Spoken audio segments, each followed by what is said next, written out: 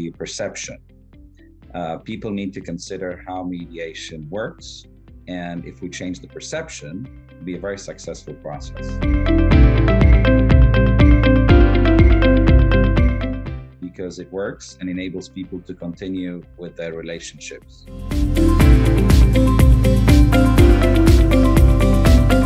basically to be patient, listen more, and master your communication skills. Thank you.